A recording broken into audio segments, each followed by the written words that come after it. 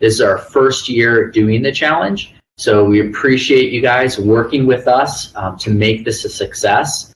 And we're just really looking forward to all the creative ideas that you guys have. You know, this challenge was actually started when we went to a company and asked them to improve one of the pieces of equipment that we currently make. We wanted them to make it faster, lighter, cheaper to produce. And what they came back to us was get a bunch of high schoolers to do it. So that's why we're here. We have um, solutions that we're currently making. We want you to make them better and make them smarter through the use of Internet of Things technology. So a few housekeeping items. Um, we are using high five here, so please mute your line. You can ask questions throughout the entire thing through the group chat button, which is down there in the middle. And we'll be answering your questions um, during the presentation, um, through the scenarios, as well as at the very end where we'll catch everything that we haven't during the time. Um, this session will also be recorded so that you can refer to it tomorrow or in the future. And please don't share your screen. Um, that's for us to give you information. So the agenda for today's kickoff, we're going to talk about Southwest Human Development and the Adapt Shop. You need to know who you're helping. Uh, I'll give you some information about assistive technology, the players involved in making this challenge possible, including the judges, the, the committee, and the high schools that are here. We're going to introduce you to Nathaniel and Nicole, who have gone to our Adapt shop and received assistive equipment to help them. So you'll get to hear their story. That'll probably be the best part of this entire presentation. Um, we'll also go over the timeline, weeks one through four, leading up to the final day of judging on October 13th. We'll have our specialists, Matt Levac and Janice Herman, talk through the challenge scenarios. Um, that'll be really rewarding, and that's really the best time for you guys to be asking questions specific about those challenges and scenarios. We'll go over briefly the judging rubric and then catch any questions at the end. So, Southwest Human Development. Um, we are Arizona's largest early childhood nonprofit. We've been in operation for 36 years. We serve 135,000 children and families every year. And the big thing we do is we work with parents with young kids. So we're focusing on young children zero to five, and we have over 40 programs to assist them. And the reason for that is those early years in life are really where the majority of development happens, and we want to make sure that every child has the opportunity to have a positive future.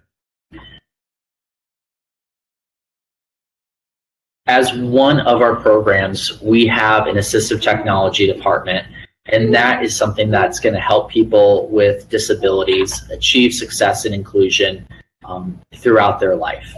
So, assistive technology is um, a really interesting field and can definitely benefit from the maker movement um, in big ways. Um, and you know, a lot of people don't haven't heard of assistive technology or don't know what it is, but it, it's really something that we're all using every day. It's anything that's going to help you live your life to the fullest. So I wear contacts. That's assistive technology. Um, but another way to think about it is if you go to the grocery store and you're coming home with too many bags, um, how are you going to get those into the house? You've got a bunch of different ways. You can try to load yourself up and carry them in. You can take multiple trips, or you could use a cart. You could use a wagon. That wagon then qualifies as assistive technology because it is a piece of equipment that's helping you um, achieve your goals and your tasks. So sometimes assistive technology is really complicated. Other times it's quite simple. Um, in the right hands, of course. So uh, the child you see on the screen here, this is Braulio, and you know he came to us, and his the equipment, that off-the-shelf equipment, wasn't going to work for him. So if you see the slide on the left, um, those arm supports were not efficient. So after doing the work that we did with Janice's help and physical therapists, we actually made a walker out of PVC pipe.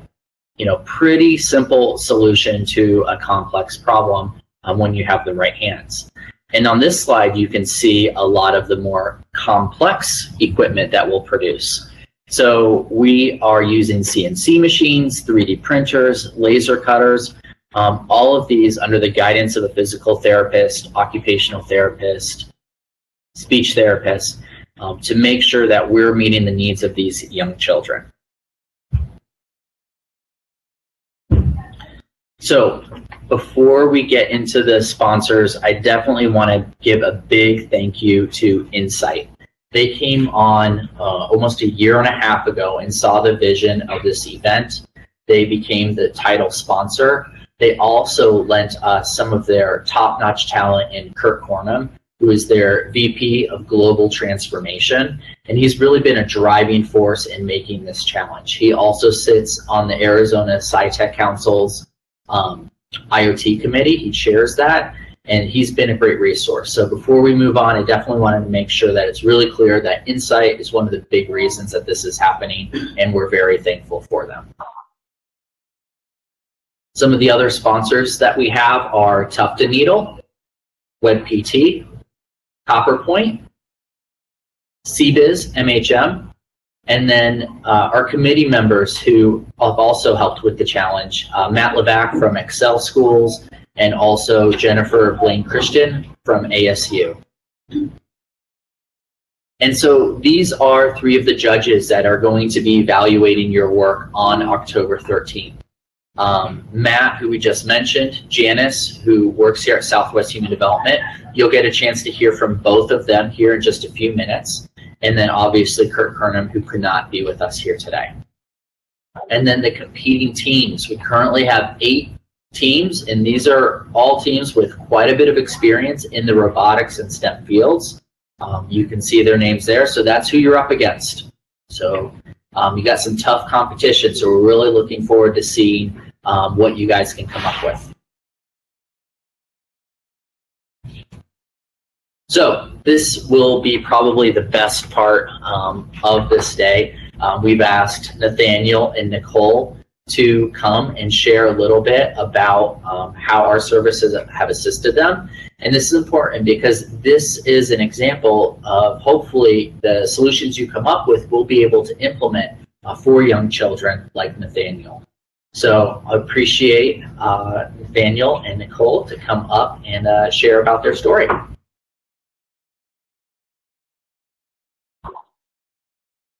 Right. Are you in a good position? Yep, you're good. Okay. Hi. Um, my name's Nicole, and this is Nathaniel. Um, we've gotten help from Southwest Development and the Adapt Shop. Um, Nathaniel here actually has used the Happy Chair. Um, Nathaniel was actually born at a pound and ounce when I had him. We had complications during pregnancy. He's, you know, he's two years old. He just turned two years old today. He's um, was in the hospital for about eight months. Um, he came out of the hospital with oxygen, and being in the hospital for so long, he didn't get a lot of developmental help, and you know he just had issues, developmental delays since he was born. So we've had help with the adapt shop. They provided us with the actual happy chair that I guess you guys are going to help make improvements to. It really assisted him in um, developing strength in his abdomen and everything just to give him the extra support he needed to help him um, with sitting properly. And as of right now, he is sitting on his own without any assistance. Um, another thing that we we received from the Adapt Shop is the gait trainer. We're actually trying to help Nathaniel learn how to walk right now. And without these services and without people who were willing to take time to create these um, I guess the happy chair or the gait trainer.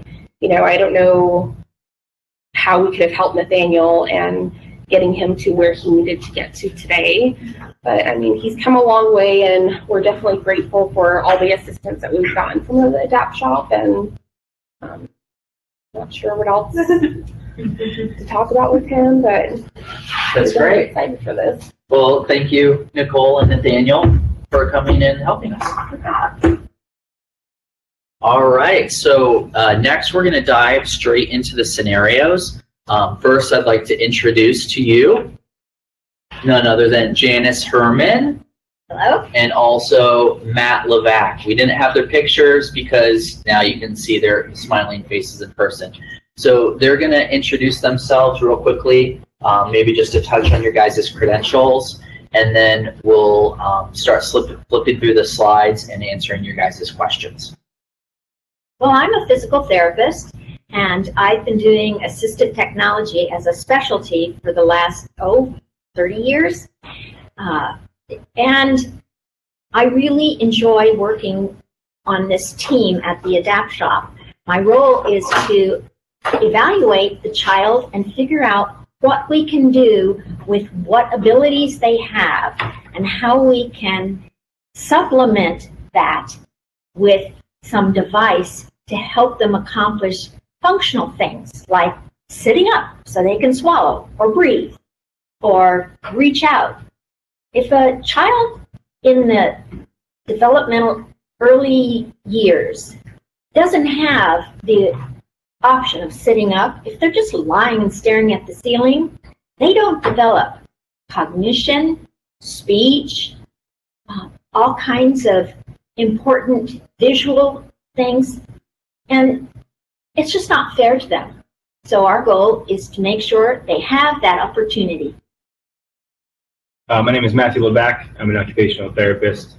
Um, I got into kind of the, the maker movement as it relates to assistive technology a, a few years ago um, and kind of connected up with the Adapt Shop when we were seeking out um, better ways to create our own solutions. Um, we had, I work at a private day school and we have students that have uh, very specific uh, needs when it comes to AT. Um, and we found that creating those solutions was, was the best choice for them.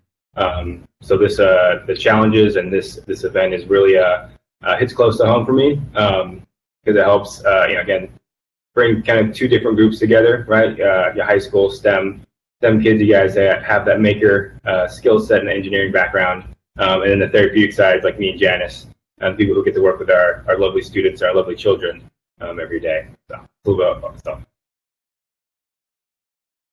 Okay, well, let's talk about our first scenario.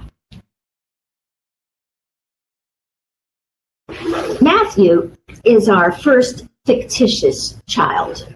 And I say fictitious because he's actually a composite of the some actual kids that I have seen over the years.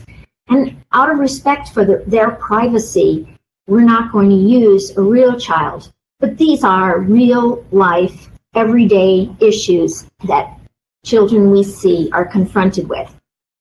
So Matthew recently started preschool and he's now almost four years old. He was born with something called quadriplegic cerebral palsy. Quadriplegic means that all four limbs are affected, his arms and his legs, and cerebral palsy is a neurological disorder. It's caused by the brain injury or malformation that occurs when the child's brain is developing that could be in utero, during birth, after birth, or in their early years. It is not a progressive disability, which means the injury itself is not going to grow or get worse. We'll see some children later who do have progressive injuries. In Matthew's case, the injury did not involve the intellectual part of his brain. He's actually very smart and already at four years old is reading. Most of the brain damage occurred in the motor area, so he has difficulties with his movement. This includes his mouth and tongue, so some people mistake his poor speech for poor cognition and think he doesn't understand them. As he grows, he will probably learn to express himself using a handheld communication device that will speak for him. So in school, he's trying to learn to write, but his hands have difficulty holding the pencil. So now we're trying to use a universal cuff with him. Matthew's muscles are strong, but his problem is that they're dominated by something called athetosis. This is also referred to as dyskinesia. These are involuntary, slow, writhing movements that get stronger with intention or effort. So, the harder he tries to do something, the worse the dyskinesia. He gets very frustrated because his arms move spontaneously on their own and they fly around, they get in his way, they can hit his friends without meaning to, or spill his juice. How embarrassing is that? He tries hard to stop them by maybe tucking them under the table or even sitting on them or hiding them behind his back. At school, they have some bean bags and Velcro straps that he can use when he wants to keep his arms still. But the school is not allowed to, quote, restrain him. And they cannot tie down or limit his arms. Even if it would make it easier for him to paint, and even if he would like them to. So Matthew uses assistive technology to help him. He has a gait trainer to practice walking, and last year we made him a custom postural support chair, which is sometimes referred to as the happy chair because it makes you feel good when you sit in it. That chair helps him sit without squirming and in a nice upright posture. He really likes it. And he likes the lap tray because he can tuck his arm underneath it and it doesn't push everything off the lap tray. He also is using a universal cuff to hold his pencil and his crayons for drawing. One of the goals of his therapy is to reduce unwanted arm movements so he can write better. We've used bean bags and that works pretty good, but he's getting stronger. So we need something more. We would like to try a weighted exoskeleton, but they're pretty expensive and usually custom made. So we were hoping that you could design one that would be good for him. Then, of course, we would need a way to compare it to the current uh, beanbag or Velcro methods that we're using. Uh, we need to be able to measure how much control of the excess unwanted movement is occurring with the different instruments. So Matt, what do you think? Is that a fair challenge for them? I think it's a great challenge for them, Janice.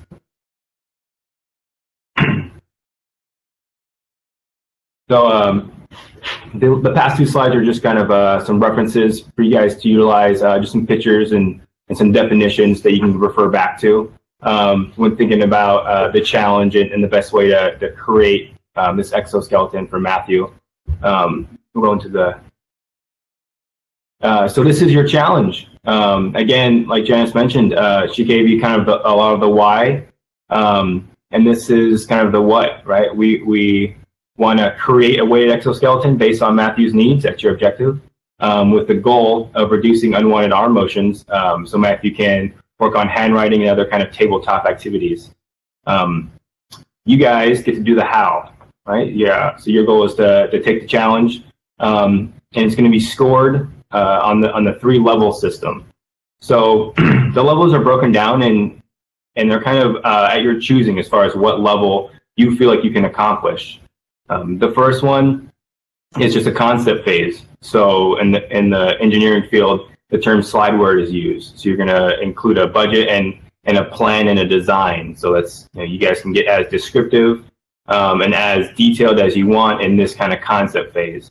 And if if you're um, you know if your team decides that that's kind of the, the highest level um, with equipment and skill base and um, the knowledge that you have, then that's the level that we will grade you on. Um, so again, you make that design and that plan as detailed and as specific as possible, um, and then we will grade you at a level one um, phase. If you go on and you want to actually create um, a stationary uh, exoskeleton, Um, you know, whether it's with 3D printed materials, whether it's with scaffolding.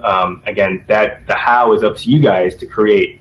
So that level two is is creating a, a design and building it um, with no IoT or no sensors present. Now you guys can utilize um, you know some some fake sensors or um, indicate whether it's with uh, styrofoam balls or, or post-its on where you would place a sensor um, based on you know again if you had more time or or if you had um, kind of more of the engineering background to um, create uh, or connect those start, those smart sensors. Moving on to level three um, is having a, a, working, functioning IoT sensor that's going to pull the, the data um, that we're looking for for each scenario. Um, so if we go to the next slide. Um, these are kind of the, uh, the data points that we're looking to capture. Um, we got uh, motion of the hand while using an exoskeleton, uh, motion of the hand uh, versus tie downs, and then your control is um, motion of a hand with no tech. Um, so when you're developing and thinking about you know your best sensors to use, um, these are kind of the, the data sets that we're looking to to capture and get to determine if an exoskeleton is the most viable choice um, for the challenge. All right, Janice, on to scenario two. Okay, our second fictitious child is Roger. Roger looks pretty typical for a four-year-old. He's always giggling and he thinks he's a pirate. And he has his own personal pirate ship. Of course, we all know it's, it's his power wheelchair. Roger has a condition called muscular dystrophy. He was born with abnormal genes that interfere with the production of the proteins, and he needs these proteins to form healthy muscle. So even though there is medication and it can sometimes slow the progress, the muscles usually become weaker and weaker. This is why it's considered a progressive disorder. Back when Roger was 18 months old, he could stand with both hands held, but now someone lifts him up in and out of his wheelchair and he depends on adults for most activities of daily living. He can move his legs a little, but not for any purposeful movement. And he can wiggle his fingers a little, but he can't make fist, and he can barely lift his hands up to his mouth. So think about it. That means a helper needs to feed him, scratch his nose, comb his hair, and everything else. On a slick surface powdered with cornstarch, we tested him and he was able to reach forward eight inches all by himself. So that's his recent accomplishment. Roger's therapy goals are to gain strength, keep his flexibility, and be as independent as possible. However, Roger's personal goals are a little different. Roger loves playing video games with his brothers. In fact, he gets frustrated because at school, he's only allowed to play video games during recess.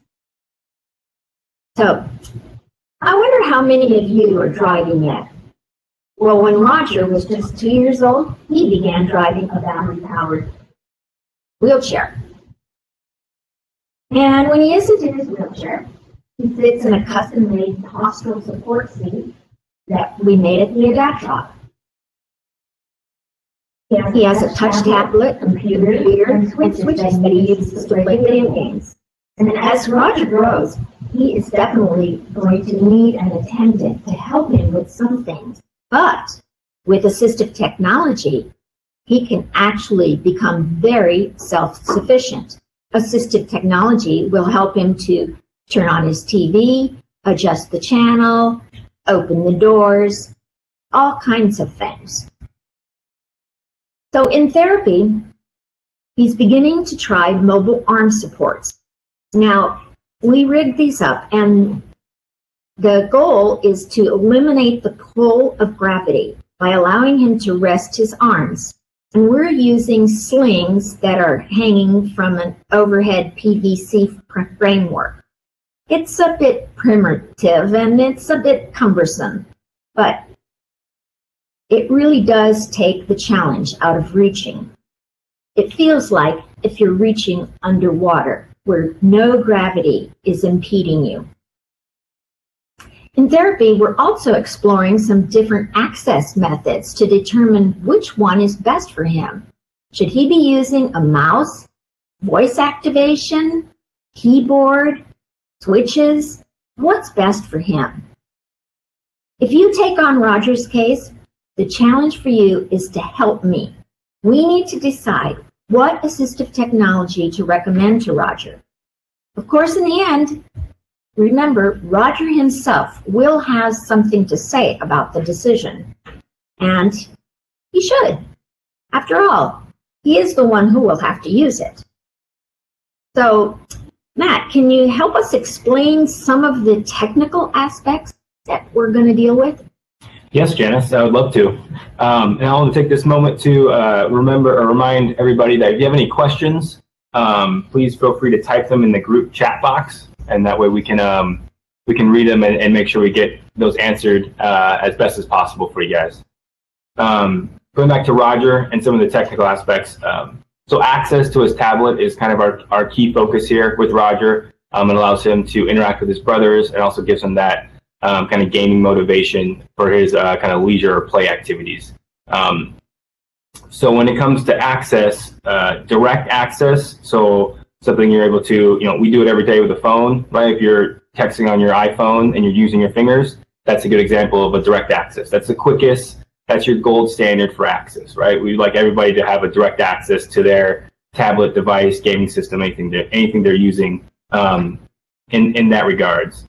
Um, on the other end of the spectrum is is switch use, and so you'll see switch use uh, dominated a lot in uh, with individuals with disability when it comes to access. Um, it, it, serves a great purpose and good function, but it's also a very slow access method. So when you're trying to uh, take Roger and have him play games with with his brothers, um, you want to make sure he's accessing his tablet or accessing those games as quickly as possible, so he's able to kind of keep up and make sure um, you know he's he's playing at their level. Um, so this uh, again are just kind of some examples of his current technology. Um, again, the uh, the happy chair is his support his support environment. Um, it going back to kind of uh, when Janice is explaining the scenarios about getting them upright, getting them in a good support environment allows them to be in position to be as effective as possible. Um, in Roger's case, it's it's playing his video games. Um, he's, he's very supportive in, in the happy chair, so allows him to be as um, effective as possible when it comes to his, his you know, motor movements of the arms and hands. Um, the, his Bluetooth interfaces and his switches, again, are some pretty classic examples of how one would connect switches to an iPad. Um, there are games that are specifically made to interact with switches. Um, the iOS system does a great job of having accessibility features to where you can create custom input with switches to allow for a broader range of, of gameplay um, and use of an iPad when it comes to switches. But again, going back to kind of determining the best access method, um, switches are just always going to be a little bit slower um, than a direct select um, way of doing things. Um, but so again, going to our challenge, um, we would like you guys to create um, an ARM support system to kind of facilitate that direct asset access for Roger um, and using um, kind of the the best way to create an arm sling system um, so he can interact with his his tablet and his iPad as effectively as possible. Um, again, the objective is to create it based on Roger's needs and keeping his his diagnosis in mind, um, with the goal to support Roger's arms uh, while he plays video games with his brothers on his tablet. Um, again, the uh, level system for grading, right? And and we're going to hit this on each scenario. Um, but that really is is kind of team specific, and you guys can come together as a team and, and see how ambitious you want to get um, and what you think is reasonable for for your team. Um, here's the IoT measurements for this scenario. Um, we want to measure the effectiveness of a direct access measure, so that's where your arm support system would come into play.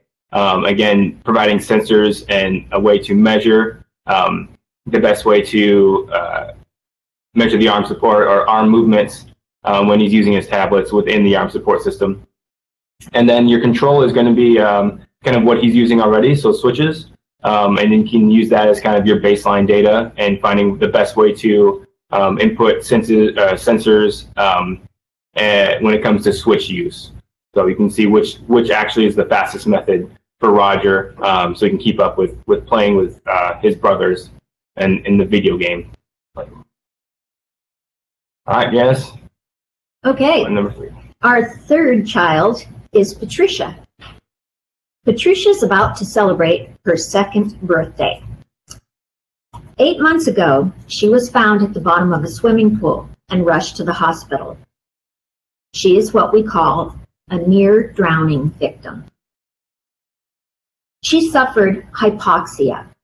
And what this means is that there was a lack of oxygen to her entire brain.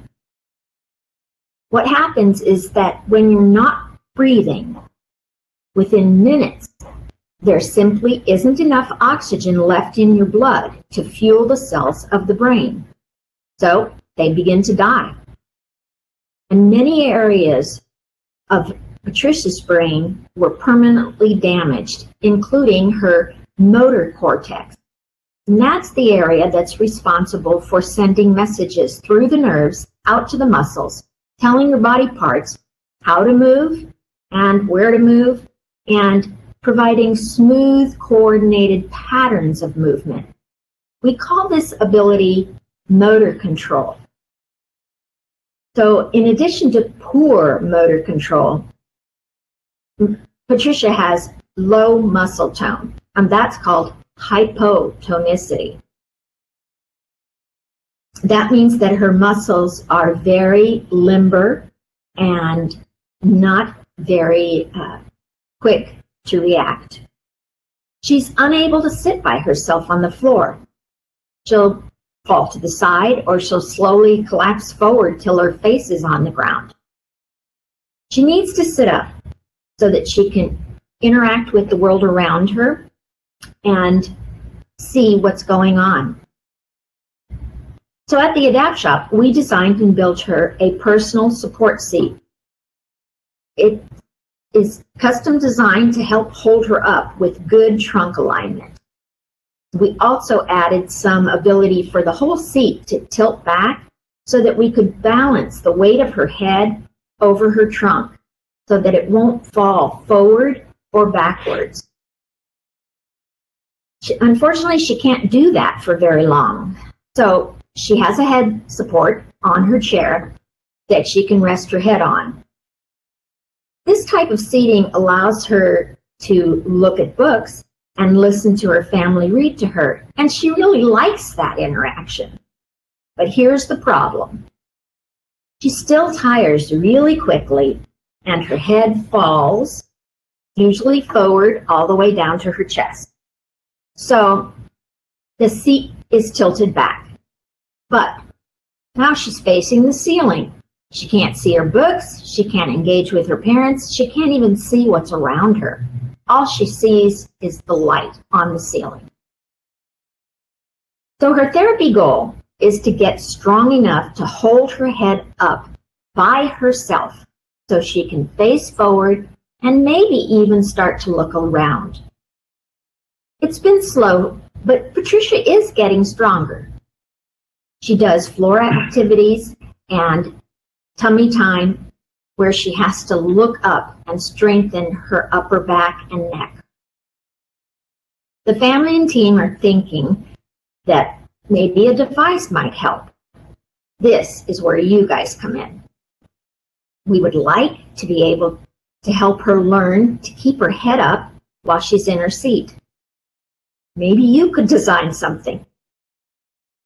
And then, of course, we would also need to get some feedback so that she knows when her head is there in the right position and maybe encourage her to hold in that position. And as always, we need to get some measure of her progress to show that she is indeed improving by using this device. So, Matt, do you think that's too tough, or is that a fair description? I think that's very fair. Okay. Uh, that's a great description of of this scenario. Um, so again, uh, this is a good scenario because really the one piece of uh, assistive technology we're working with is the happy chair itself, right? So we have um, a lot of room to be um, as creative as possible when we're when we're thinking about her therapy goal of uh, increasing her ability to keep her head upright. So um, if you go one slide down, perfect. Um, in this picture here, it's a good visual of kind of seeing where her eye angles are. And again, like Janice mentioned, um, you know, with her ability to kind of uh, require that head support, um, she is pretty much looking at the ceiling a lot of times. So again, that that ties into her goal of trying to keep her head um, upright so she can be more involved in the environment um, and create that kind of eye contact and, and have that uh, strength to keep her head up um, to interact with people and, and preferred items. Um, your objective in this one is to create a head support system that allows Patricia to work on keeping her head upright. Um, and then the goal is to increase her visual engagement with preferred items, which could be family members, which could be a you know, device or tablet, which could be uh, just toys in front of her. Um, again, that the big goal here is to keep get those eyes um, from looking up at the ceiling to a more kind of horizontal plane so she can kind of survey her environment more effectively. Um, again, with our levels, um, again, it's up to your team to decide uh, what level uh, you deem is uh, appropriate for your team, um, and then we will grade you accordingly to those levels. Um, for our IoT inputs, um, one of the, the data we would like to see is how long um, she's able to hold her head in a certain plane um, while in that seat. That gives us good input to see if she's progressing, um, whether it's a motivating item that gets her head up a little bit longer, uh, preferred family member, um, what we can use in our therapies to help her kind of strengthen that head control. Um, another uh, sensory data we look for is if it's the head's in the correct position, and or when her head's in the correct position, um, and measuring kind of the angle of the chair or um, in regards to her seating environment with the happy chair, uh, when her head's in a good position and how we can kind of keep that head um, in that position for as long as possible. Um, and then your control is measuring the head position in time. Um, it's in position without the custom seat. So you can look at um, her outside of the seat and and really uh, see how those that data is different um, from when she's supported in, in, the happy chair versus when she's out of the happy chair. So, so that wraps up the, the three challenges, Janice. Um, again, if you guys have any questions, please um, put them in the group chat. And David will fill you in some more. All right, so it looks like we currently don't have any questions in the group chat. Um, so I'm going to go ahead and just move on to the next uh, portions. And again, feel free to type those in as I'm talking, and we can circle back to them at the very end. Um, so hopefully we've just been so informative that you guys uh, know exactly uh, how to get started. Um, I'm sure you guys will have questions along the way as well. So I'll have my info on there at the end um, as a contact point. All of your coaches should also already have contact info for myself as well as Amy. Um, and very nice. Okay, so last couple of things as we're finishing up. I'm sure you guys are all wondering how you're going to be judged. Um, so we've got the judging rubric on the screen here. And, you know, one of the first most important things as you get into this is going to be the cost to implement. Um, we are a nonprofit, so we're always, you know, going to make sure that the solution to fit the child um, is cost effective because we do fundraise for those costs. Um, also, creativity, very important. Uh, build quality, that would be if you get to level two and three. And what I want to spend the most time on here is the IoT stack. This was actually brought to us by Kurt Cornum, um, and this is something that um, they use when they're developing technology in the real world. And this is basically, um, these build on each other you know, effective use of sensors, connectivity method, what can be done with the data? You know, is it just useless information that isn't practical? Um, data visualization, how are you going to present that data so that it can tell a compelling story and actually inform decision making? And then also the physical packaging. You know, if you come up with a RoboCop style exoskeleton that d- requires a battery the size of a truck. Um, obviously, not super uh, effective or efficient. So, just kind of keeping in mind that the aesthetics of the build are important as well, um, and the size. And so, that last one, um, you know, I wouldn't expect you guys to have, you know, custom molded um, designs and casings for this equipment at this point. But that is something that we want you to keep in mind as if you were to develop this um, long term uh, in, in a bigger way, that is something that's going to be important. It's also important to look at the stack and realize that you can knock this stack out of the park at level one. So, you know, if you don't think you're going to be able to build it or get the connectivity and IoT, you can focus all of your energy on these items um, and do a great job and give us something useful to work with.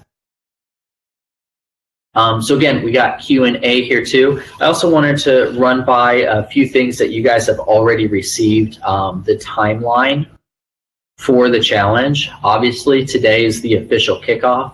You've had the scenario, so you might have already started thinking about solutions, what you want to do. That's great. Um, this first week is obviously uh, narrowing down that solution and then also ideally submitting a bill of materials to us. We'll send you guys some more information about this on Monday. And I had a few people question like, why would you have a hundred dollar registration fee and then we mm-hmm. give you a hundred dollars of materials? Um, originally, we were planning to provide all of the materials that you would need to do your build to you. But as we started to develop, develop the challenge, we realized that that is something that might pigeonhole you um, specifically towards one solution that might not be the best. So we could have provided you um, materials up front, but we didn't want it to be to a point where you are basically just assembling the kit that you got. So we kind of had that change in the last three, four weeks. So if there's any confusion about um, how that works, that's the reason for it. So we are going to ask you to, as you work on that solution, to submit a bill of materials to us. Again, I'll send you all that information on Monday, and then we will order and deliver those pieces to you. Um, ideally, that happens in the first week or two, so that then you also have time to create and assemble. But if it happens in week three, that's totally fine. If you just are focusing on winning at level one and you never submit a bill of materials to actually be fulfilled, um, that's fine as well. You've got all of the options. And again, if there's any confusion on this, um, I'll be available to answer additional questions. So the schedule. Week one, bill of materials is your focus. Week two, we'll be scheduling calls with mentors um, from Intel IoT division, as well as Janice, who you heard from today. Um, Matt's going to be answering additional questions uh, via email to make sure that you guys are able to move forward. So we'll have those mentor calls scheduled in week two as well as week three.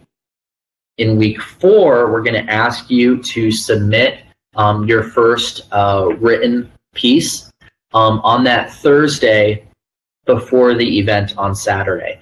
So this is going to be your first chance to impress the judges with your idea. It's going to give the judges time to get an a concept of what you are working towards so that they are ready to hear your full presentation on that Saturday and will have questions um, ready and they'll have an idea of what you're up to.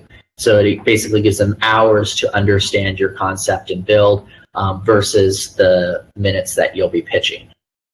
Speaking of the minutes you'll be pitching, on that Saturday, 1013 at Burton Barr Library, the presentation is going to be uh, Shark Tank style. Um, a lot of uh, startup grind um, and seed spot use this when uh, people are pitching their ideas as well. So basically, you'll have five to six minutes to be on stage and do a formal presentation to the judges who will be sitting right in front of you.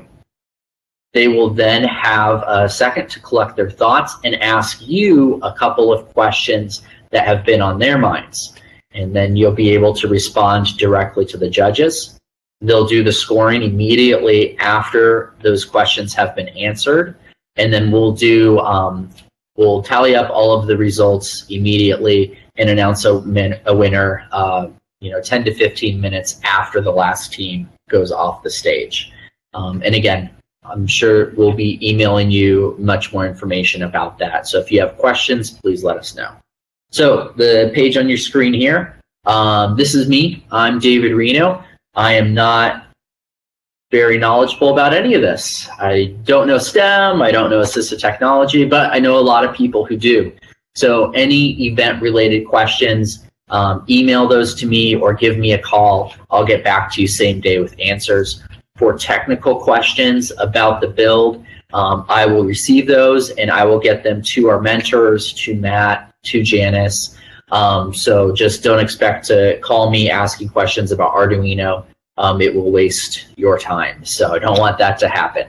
Um, very nice. Um, Amy, did any questions pop up? Okay. Very nice. Okay. So, um, in conclusion, the winner will be receiving $500, which is great. The big prize that they're going to get, though, is um, receiving additional support to develop their solution. Again, ideally, we get an idea out of this that we can implement with children. So, that support, um, it can be a combination of working with our Intel mentors, working with our team here at Southwest Human Development, um, there's a lot of resources that we have, even at ASU, has expressed a lot of interest in bioscience division. Um, so that's really going to be the most um, important thing that you guys are working towards is to get to work alongside some Intel, Insight, ASU, um, and our team here. So um, thank you again, everybody, for coming. Thank you to all of our sponsors. I did also want to call out Intel. Uh, Brian McCarson, their chief technology officer, has been on the committee, and their IoT division has helped out a lot with these challenges and are providing the bulk of the mentors. Um, the Arizona SciTech Festival has been very helpful as well. And their kickoff event is on October 3rd at the Mesa Art Center, and we will actually be presenting a session about this challenge. So we'll be in week three at that point but we would love to have anybody come out and even bring your build uh, where you're at at that point. Um, and we'll be sharing with the, the folks there about the challenge, what we've learned about the assistive technology, um, and more. So um, October 3rd, we'll get that in the email to you too. So thank you everybody for coming. We will close uh, the session right now, and then this will be available um, via recording as well. So thank you everybody.